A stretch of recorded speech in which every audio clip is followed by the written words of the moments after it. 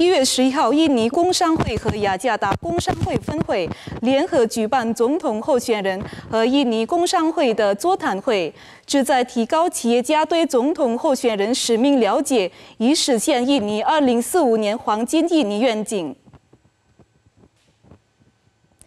印尼工商会所举办的此次座谈会，邀请了跨业界、企业成员和地方企业的参与，向企业界传达了有关。工商会中立和包容性的承诺。印尼工商会日常执行主席尤基表示，二零二四大选年成了国内企业界重要时刻。通过总统候选人和商会座谈会，表达了领导安全移交的重要性，在应对国内和国外经济挑战的同时，提高经济增长指标和实现印尼二零四五年黄金印尼愿景。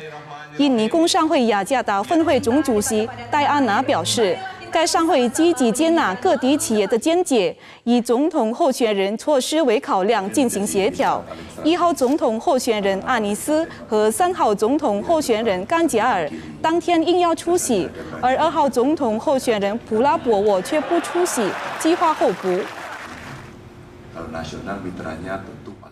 Kita tunjukkan bahwa Kadin ini suatu organisasi yang memang netral dan benar-benar berharap bahwa pemimpin masa depan uh, itu adalah pemimpin yang uh, keinginan dari semua, kemudian mendengar dari semua dan juga uh, me, me, melihat apa kendala-kendala yang ada uh,